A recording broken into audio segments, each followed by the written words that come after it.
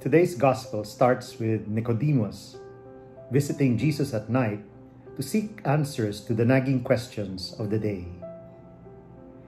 I consulted Father Rani Heraldino, my spiritual advisor, and he says that historically, rabbis declared that the best time to study the law was at night, after the day's work was completed and the household was at rest.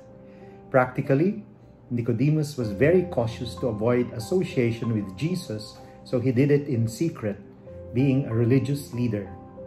Figuratively, it could be a symbol for confusion where one finds oneself in darkness, needing guidance and light. We are in a dark night of our history.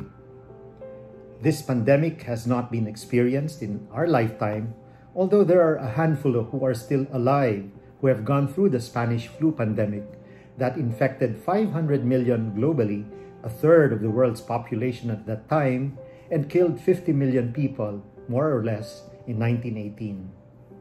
Many are experiencing confusion and anxiety and are seeking answers of their own as they go through this dark night in their own lives.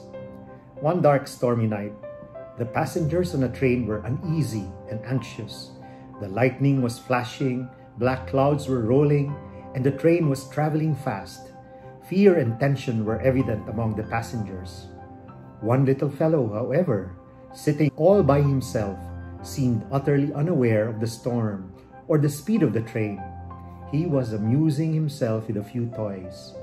One of the passengers spoke to him. Sonny, I see you're alone on the train. Aren't you afraid to travel alone on such a stormy night? The young boy looked up with a smile and answered, No, ma'am, I am not afraid. My daddy's the engineer. Brothers and sisters, this dark and stormy night shall turn into day again. Let us find solace and comfort only in Jesus. Let His words serve as our hope.